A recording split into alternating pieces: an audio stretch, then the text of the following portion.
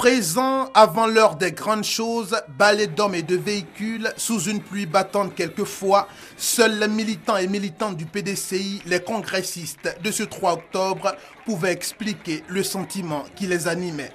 Mais 11 ans après son dernier congrès et les sons de cloche qui ont précédé ce 12e congrès ordinaire, c'est une vraie famille politique heureuse de se retrouver qui a effectué le déplacement d'Abidjan-Trècheville jusque dans l'enceinte du Palais des Sports.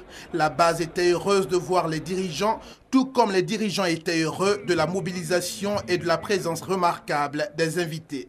Un motif de satisfaction pour les comités d'organisation. La salle était archi-comble. Le président du parti était là.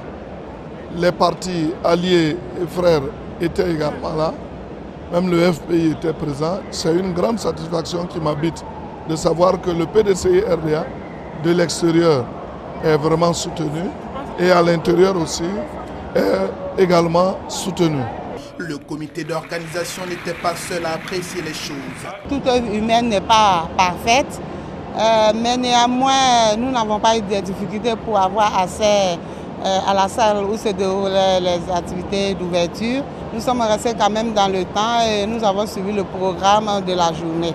Après la ferveur de cette ouverture officielle du 12e congrès du PDCI RDA, place sera sans doute faite aux travaux pour le choix du prochain président et pour la redynamisation du parti.